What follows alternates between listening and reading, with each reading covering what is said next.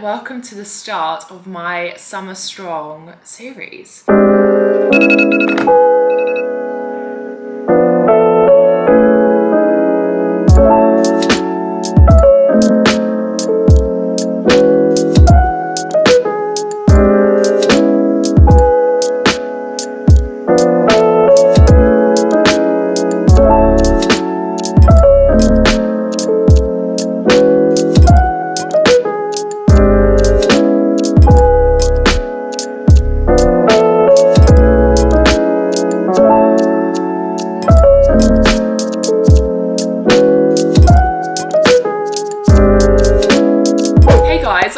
Back to another video and welcome to the start of my Summer Strong series. So I am kickstarting off this series by telling you all and helping you to know exactly how to feel your best for summer. So we're thinking like hot girl summer, but strong, healthy, better version, a version that doesn't have any restrictions, a version that is sustainable and enjoyable. So if you follow me on Instagram or maybe on here, then you'll know that I have over the past couple weeks been on a bit of a feel good summer kind of shape up. So I'm not in a bad shape whatsoever, but I just wanted to feel like better in myself. I had a, a few holidays planned. I have my birthday this week and I just kind of wanted to feel my best, you know, and who doesn't want to, especially when obviously in summer we wear less clothes. Um, so in today's video, we're gonna be going over exactly what I am doing to feel strong, confident, and better in myself for summer. Now, we're not doing anything drastic, but these are small little things that you too can implement into your life. Maybe if you are feeling demotivated or are unsure on what to do in order to kind of reach your goals, then I am here to help and I'm gonna help you with this very quick and simple video. And I'm gonna take you through my day and show you exactly what I am doing and what I have been doing over the last two weeks. So the first thing that we're gonna be doing this morning is making breakfast. I've already got ready. I'm hungry. It is now 10 o'clock. So one of the things things that I've been doing recently is trying to have my breakfast a little bit later because this will keep me fuller throughout the day. So I've been having breakfast around half nine, 10 o'clock, and I've been feeling so much better because I was kind of getting to like half 10 after having breakfast at like eight and I was hungry. So now I'm kind of not eating till a bit later. So basically I am feeling fuller throughout the day, which is just such a bonus. So if you're feeling hungry, try and have breakfast a little bit later. And also I have been having a different kind of breakfast. So I've been trying to have a bit of a bigger breakfast that's also high in protein because this has also helped keep me much fuller as well. And I am obsessed with this breakfast at the moment, but today we're doing a little bit of a twist on it because I don't actually have some of the items. So I've kind of been having like turkey bacon with a bagel and jam, then an egg and one egg white. And the protein's like over 40 grams and it's just great because I feel so much fuller. And I haven't been having bagel thins because let's be real, bagel thins just don't really hit the spot, do they? So we've been going with normal bagels, but today I finally bagels because they ran out yesterday. So we're gonna go with some crumpets. These, so good. We're gonna put some jam on them. We've got sugar-free jam. I'll show you which one I use. One egg, one egg white, and then I've also got some bacon medallions as well.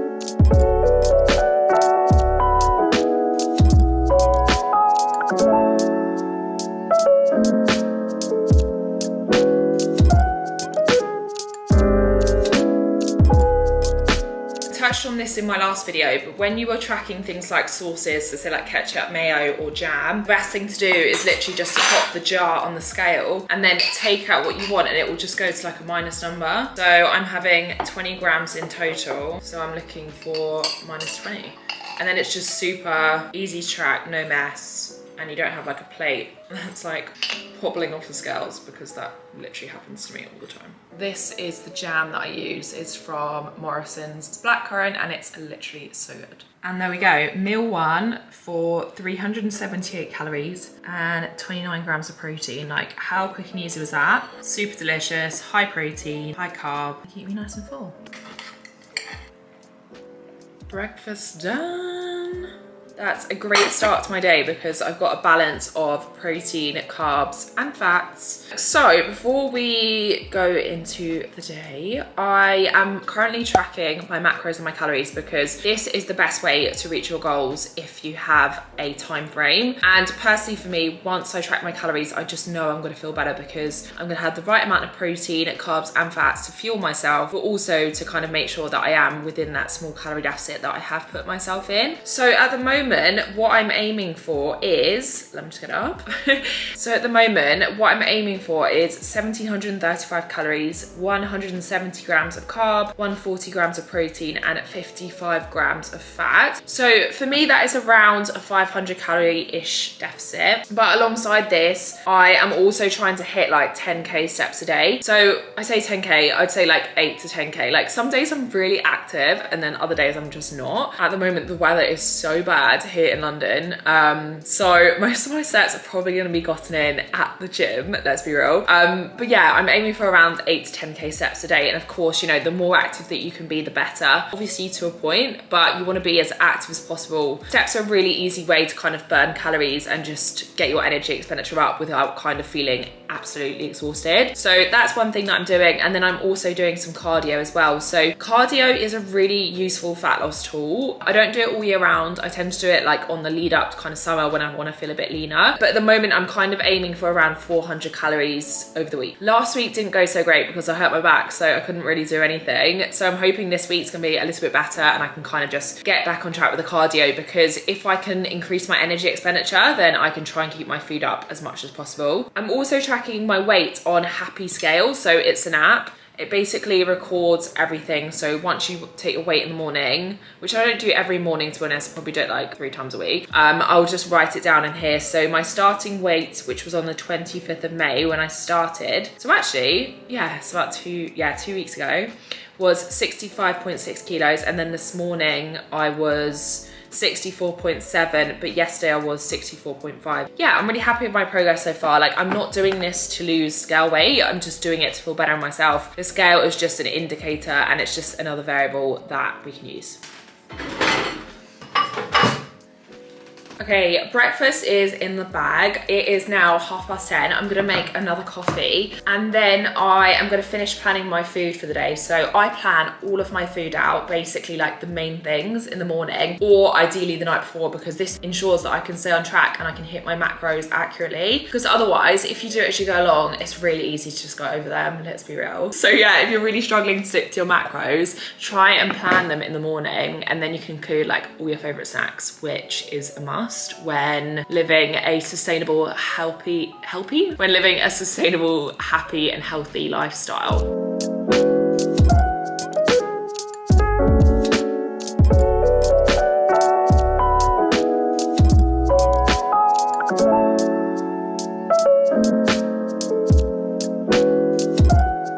gym fit. I've got my Fabletics fleecy jumper on in a brown. Then I've got Fabletics shorts on, Fabletics sports bra, and finally some Nike trainers. Upper body, let's go. Oh my God, it is literally freezing and it is the beginning of June. What is going on? It is 13 degrees in my car right now and I'm in shorts. Like, no wonder I'm cold. But anyways, I'm just heading to the gym because I always try to get a workout in on a Monday because it kind of just sets the intentions for the week. And I have a good workout plan for today. So normally I would actually do, um, no, that is right actually. So normally I do a leg day on a Sunday and then I do upper body on a Monday. And yesterday I didn't actually do leg day because last week I hurt my back slightly and I was filming all weekend for Elevate my app, Summer Strong challenge. So this week I, I'm not gonna do legs today just because it's been like quite a heavy kind of weekend with the workouts and I don't wanna cause like any kind of further injury to my back. So I'm gonna rest my legs today. I'm gonna do upper body today and then um, tomorrow I will do legs. Then I'm gonna have like a bit of a rest day on Wednesday, but I've also got like a yoga class on Wednesday. So that'll be like an active kind of rest day. And then Thursday will be leg day. Finally, um, I'm training with my friend Geordie at King's Gym in London. And then uh, Friday will be a rest day for uni. Saturday will be a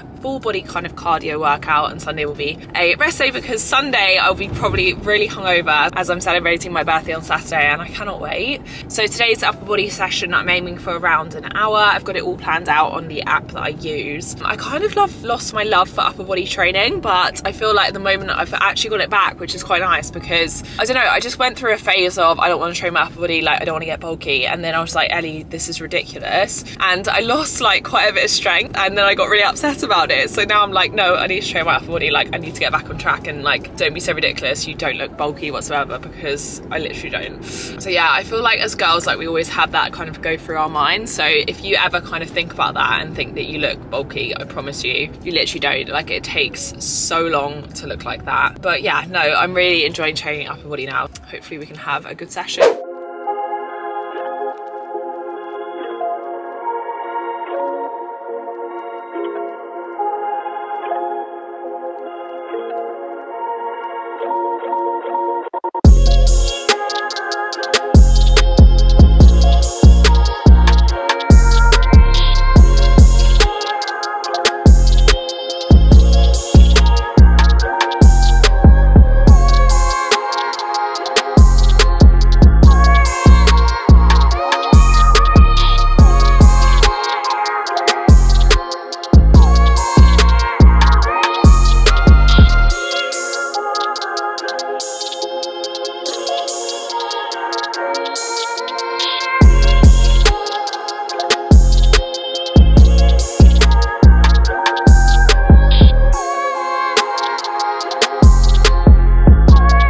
gym session done, feeling good. I actually managed to record it as well, so I hope that that was helpful. But now I'm actually gonna go to the supermarket because I need to get a few things for my recipes that I've planned for this week. So not only do I plan for the day like in the morning, I also on a Monday make sure that I plan my recipes for the entire week because otherwise without kind of planning like my main meals, I will just be like to and forth from the supermarket. I won't know what to cook, things will be bland. I won't want to stay on track because it will be boring. And I just find like like the best thing to do is just to already have the food in the house so that it's like super easy to kind of make for that week and stay on track. So for this week, I have planned to make cheddar and broccoli potato skins, chicken alfredo pasta, salmon tacos, chicken salad, and that's gonna be like a creamy chicken salad. And then I've also got like a really yummy breakfast, which is like overnight Weetabix, but it's like Kinder Bueno flavored. So I'm excited for this week. I think it's going to be a good week of food. But anyways, let's go to the supermarket because I need to get some food in and then um, I'll show you exactly what I get. So I got back from the supermarket and my camera actually died. So I have actually just made a really delicious lunch and I will show you it in a second. But I wanted to show you what I just picked up in Morrisons and I literally spent 22 pounds and that is it. And that is because I pre-buy all of my meat at the start of every month and then I freeze it because it's so much cheaper and it's just so much easier as well. And you know that you've always got like a protein source in the house. So if you struggle to get your protein in, just try and plan and pre-buy because it will just save you so much money. Okay, so starting off with the carb sources, I had to pick these up, dark chocolate mint rice cakes, and I've eaten one and they're so good. We've also got some Ryvita Thins. These are the cheesy ones. They are super low calories at just 29 calories for one, and I'm gonna add this to like a chicken salad. We've then got some carb sources, so some mini tortillas because I've just made some tacos. Linguine as I'm gonna be making a chicken alfredo pasta. I picked up these sourdough. They're like kind of almost, well, yeah, they're flatbreads, but the calories are really good and I thought they would make really good pizzas. So I'm gonna give that a go if I'm like in a rush. I've got my favorite bagels. Love these ones. They're pre-cut and just super easy. Then I picked up my favorite turkey bacon rashers. 29 calories per slice, super high in protein, low fat, great for breakfast. We've got some low fat cheese just for like in general. Then I've just got some veggies, so onions, coriander, lettuce, lime, broccoli, celery to go in the chicken salad, some potatoes for the cheddar and broccoli potato skins, and then just my usual oat milk. So it wasn't a massive order, but it's enough to kind of see me through for the week because I've already got some stuff in the fridge. So before I went out shopping, I just made a list as to what I had and what I didn't because I'm really trying to stop like buying something more than once because it just goes off and it's a waste of money. So yeah, if you are finding that you're doing the same, try and sort of make a list. It will honestly make your life so much easier. And again, it will just save so much money. For lunch, I have made this salmon taco plate. So we've got salmon, which I cooked in the air fryer with honey, Cajun spice and salt and pepper. Then we've got two tortilla wraps with like a yogurty mustard honey sauce. And then we've just got some salad and avocado and coriander. So absolutely delicious and it's super easy to make. The recipe is gonna be on my Instagram as I've just filmed it for a TikTok. So on this plate there are 404 calories and 22 grams of protein. Obviously it's full of healthy fats which is just gonna keep you nice and full and it's super good for you. So one of the things to do when trying to get fit and healthy for something and not just summer like just in general is to make sure that you don't cut out anything from your diet. So I always like to plan in my favorite snacks and the things that I love and crave in the the morning and then I kind of know exactly how I'm going to include them into my diet. So this morning I planned in this white chocolate Kit Kat this is my favorite little snack at the moment. It's 106 calories for one bar. Having this to kind of look forward to every single day just makes sure that I can kind of stay on track and I know that I'm gonna have this and that I'm gonna feel good and satisfied after it. So if you find that you kind of start a diet or a routine and you can't stick to it, have a look at your diet and just make sure that you know you are including these kinds of foods and the foods that you love and crave. And you know, if you don't crave sweet things, that's fine. Put in the stuff that you do like because that's gonna be the difference between you kind of sticking to it and you not sticking to it. So since starting a couple of weeks ago, I have lost, I think it's just over a kilo now. But one of the things that's helped me a lot is by looking at my portion sizes. So before I was tracking, but only really like two, three days a week. And now I'm kind of tracking seven days a week or as much as I can. And I'm really kind of looking into my portion sizes. So because I've dropped my calories now slightly to 1735, I'm having like the same foods, but just slightly smaller portions. So this is mainly from like carbs and fats. I'm just watching that bit more, mostly because I drop my carbs more than anything. So one of the things I'd really suggest is just make sure that, you know, you are weighing out your portions if you are tracking your macros, but also just be more mindful about like your portion sizes because having like slightly less of everything in the day, but still feeling really satisfied could be enough to kind of see results without even like track calories. So if you're someone who doesn't actually like tracking your calories or you find it like triggering, which is absolutely fine, like a lot of people do kind of suffer with that, I would suggest like still don't track your calories, but just kind of reduce your portion sizes slightly or maybe just swap out like one product for another. So instead of having like full fat yogurt, you could have 0% fat yogurt. And that would save you a lot of calories. And if you're having like the same foods, that would be a really good way to kind of just ensure that you are eating maybe slightly less from before, especially if your goal is to lose fat. So lots of you have actually been asking me what my training split is at the moment. And what I want to say is whatever my split is does not mean it's the one for you. Most important thing when programming yourself a workout or a workout program is that it is doable for you and that you can fit it into your life because trust me, you don't want to feel disheartened if you can't get the workout done or if it's too difficult. At the moment, I'm doing four resistance workouts a week. I'm doing two upper, two lower, and then I'm also doing one cardio day. So the cardio day is just there to get my energy expenditure up a little bit. And like I was saying earlier, just kind of help with that kind of overall calorie deficit. And then I enjoy kind of having a bit of an equal split between upper and lower at the moment. So that's the best thing for me. I find training four days a week works really well, especially just because I'm so busy. But if you can get in five workouts, then fine, do it. But it's not always like the best thing to have more workouts. Like it's actually better to have less workouts, but make them better workouts, like get the most out of them basically. So yeah, they're basically like the main things that I'm doing over the next few weeks in order to feel my best. My actual goal is like the second week of August. That's what I wanna feel good for. And obviously at the moment we're at the beginning of June. So I have a while, but I've definitely made great progress and I just feel so much better in myself. I'm just doing it in two weeks. So if you feel like you're stuck in a rut, my top tip is do not give up at the first hurdle. If you don't see results in the first week, don't stress. Like I promise you, results take time. Just keep on going. And it's like your overall consistency over time and like your small changes that you make that will get you there. And I promise you, you will if you stick to it. I hope that these tips helped and it gave you a bit of an insight as to what I'm doing each day. I am gonna just finish doing some work now. It's literally half past six and then I'm gonna make some dinner and just watch some TV and chill tonight. But yeah, I just wanted to show you like the little things that I'm incorporating and it's not a huge amount, it's little changes that add up and I think a lot of people kind of overlook this. So if you have any questions, leave them below, but I hope that you found this really useful. If you are joining me on my hashtag hot girl summer,